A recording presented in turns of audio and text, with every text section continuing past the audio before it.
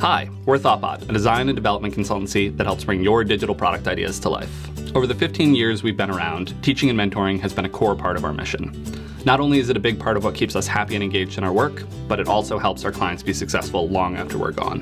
For the past six years, one way that we've done this is by offering a subscription learning platform called Upcase. With Upcase, we've helped thousands of developers level up their skills by offering workshops, videos, flashcards, and coding exercises. We're very excited to share that as of today, Upcase is entirely free. We're very proud of the content and community that we built here on Upcase, and we're super excited to share it with even more people. So, what exactly is Upcase? When working with the teams at our clients, we saw a lack of content for intermediate developers. And with Upcase, we've built the courses that we wish had existed for them. The core of Upcase is hundreds of hours of videos and screencasts, neatly organized into courses and by topic so that you can find exactly what you need and get learning.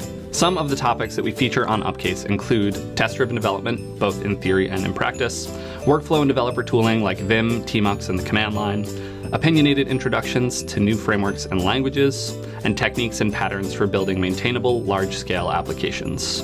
Upcase represents the collective best practices of the team here at Thoughtbot, and we're thrilled to be opening it up and sharing it with even more folks starting today. So, what are you waiting for? Head over to thoughtbot.com slash upcase to start learning for free today.